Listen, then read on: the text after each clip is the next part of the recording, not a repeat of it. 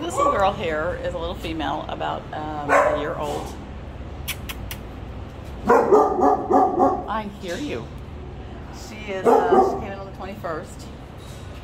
She does. Uh, she's right now dealing with some kennel cough.